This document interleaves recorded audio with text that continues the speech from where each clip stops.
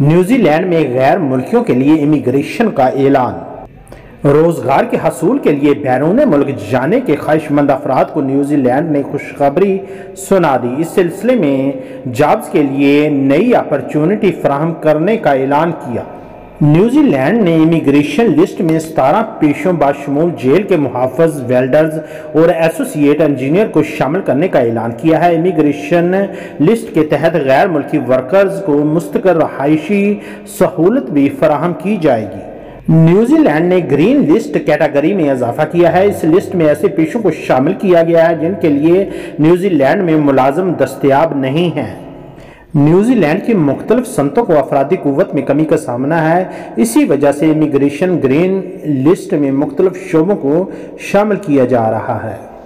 असाजा की असामियाँ divisional model college jobs 2023 through N T S.